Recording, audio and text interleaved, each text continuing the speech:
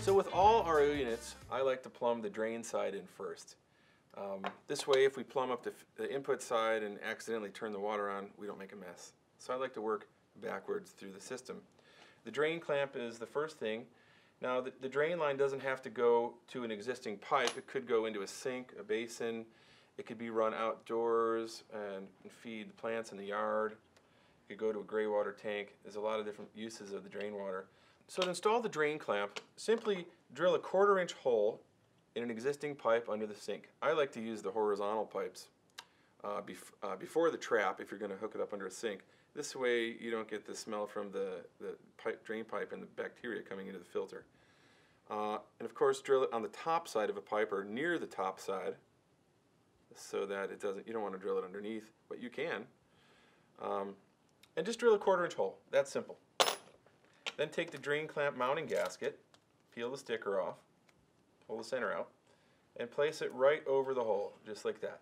What I like to do is take the drain saddle and push a piece of the drain tubing all the way about a half inch through it, and then you line it up with the hole in the pipe so you get your alignment set, uh, and then you can look through the bottom of the pipe or the, and see uh, that it's not pushed through all the way. Now, if it's connected under a sink, you're not going to be able to look through it. So what you can do is push it all the way and feel the bottom of the pipe, the back side, and just pull it back about a half an inch, just like that. You don't want the tube against the pipe where it's going to restrict the drain flow. You want it wide open. Kind of a key important part. And then just assemble the drain saddle, put the nuts on, and tighten them up. And don't over tighten them uh, there's a gasket there to seal from any leaks, uh, and that's how the drain saddle connects. Real simple. So the next thing I like to do is take the quarter inch white and the quarter inch black tubing and plumb it into the flush assembly. Now on all GrowoniX ROs, the black line is the drain line, and so go to this two-way divider here and seat the black tubing all the way in. The permeate line, the RO outline, the filtered water, is going to plug into the bottom of the auto shutoff valve right there. Make sure it's seated all the way past the O-ring into its seat. And make sure the flush valve is open. Closed is when it is perpendicular to the line, the black line. Open is when it's parallel to the black line. So on initial startup, we want the flush valve open, parallel to the black line.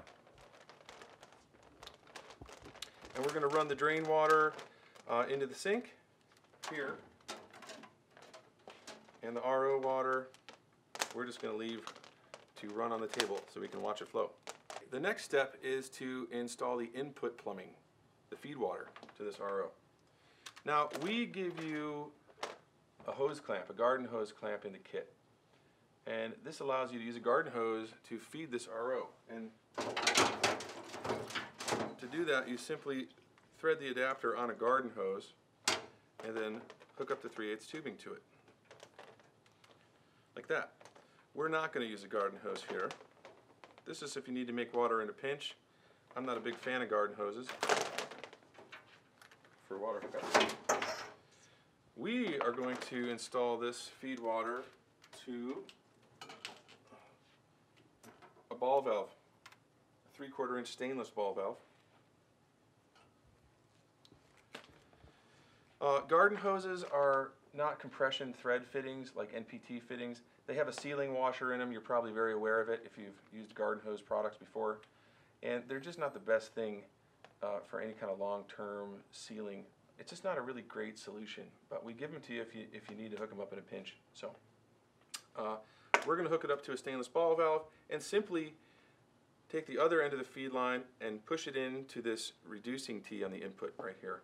Make sure it's seated past the O-rings into its proper seat. Um, and that's it, the RO is connected. It's that simple.